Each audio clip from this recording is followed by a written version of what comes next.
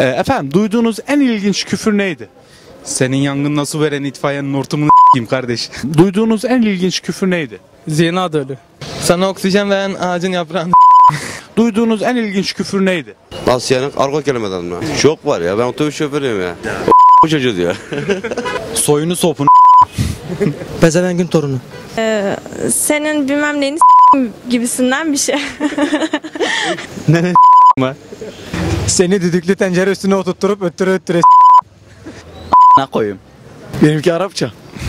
Eri bir mek. Ee, Pepe'nin benziyorsun demişti bir far mertel şeytan. Ee, senin ananı Boğaziçi Köprüsü'nde şey yapayım da hem Asya hem Avrupa güzelliği seyretsin. Duyduğum en orijinal küfür dağlağını sikeyim. Ananı bir bak Duyduğunuz en orijinal küfür neydi? I am f you. I am fuck you. yeah. İftah dizek istenle. Ben ne diyorum sürekli ya? Senin kulaklarını s**eyim diyorum yani. Bence en güzeli Feriştah'ını s**eyim. Çok güzel. Başın bitten götün s**ten kurtulmaya inşallah. Bana çakayım. Tamam o bu çocuğu.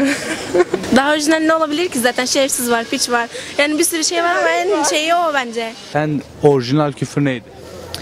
Madaka. En ilginç küfür. İkini s**kim.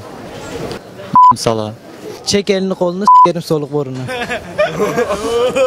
Duyduğunuz en orijinal küfür neydi? Seni arkadaş olarak görüyorum.